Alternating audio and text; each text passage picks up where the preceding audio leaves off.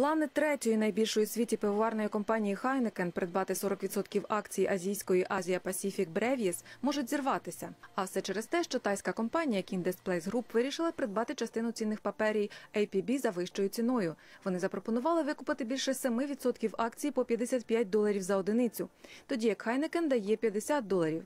За словами аналітиків банку UBS, нідерландській компанії слід підвищити пропозицію, адже акціонерів APB наймовірніше не влаштовує стара ціна. Компанія Heineken вже володіє 42% акцій APB. Сьогодні перед початком торгів акції останньої зросли майже на 7% – до 52 доларів за одну.